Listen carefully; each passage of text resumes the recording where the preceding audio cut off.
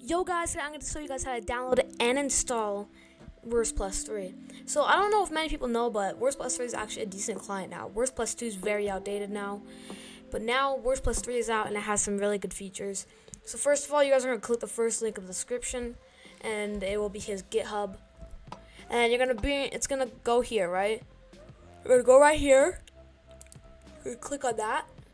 Then you're going to go down and then you guys will see something right here just so you guys see.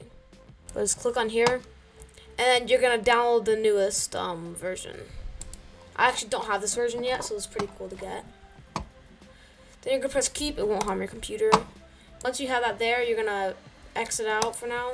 And then once you're over here on your desktop, you're gonna go right here, and then you're gonna search up Wurst+3. And you're just gonna open the file location. Go drag under desktop. Keep it there for now. Now you guys want to go download Forge. So you're going to do Forge 1.12.2 download. This is only for 1.12.2. I'm 99% sure. So you're going to download it from here. Make sure you download the newest version, installer, and wait for this to go ahead. And then you're going to be on one of these pages. Uh, this will all be blacked out or blurred out. So guys don't have to look at this. And then you guys are going to press skip and then you're gonna get a forge jar and you press keep. And you can just and you gotta wait for it to actually fully download. So now it's fully downloaded you're just gonna click it. And you can put that out. And you're gonna press install client. And make sure you guys have ran 1.12.2 normally already. So yeah and then press ok then that's gonna be done then you're going to go in here. So a lot of time people always like, it doesn't show up, it doesn't show up. I'm going to go to installation, just check off modded. Okay. And new installation. But right now I have beta thing on, so you're to have to restart your launcher a couple thing, couple times. Right here, you're to click on this. You're to do this, and then go into your JVM arguments, put the amount of RAM that you guys want. So I like 12 gigabytes of RAM. And then you're to have it probably down here most likely. And then um, keep it there for now. Now you're gonna press percent update a percent. And you're gonna go over here. Um, the reason um, make if you guys are on Mac, press Command Shift G, and you're gonna be in a saves folder, and you're gonna change that to um, .minecraft. Then you'll be in here. So you're gonna go to .minecraft. You're gonna have all these folders. I have a lot more than I should. I have a lot of folders. But um, yeah, and then you're gonna go down to your mods. If you guys don't have mods, I'll show you guys quickly how to create a folder.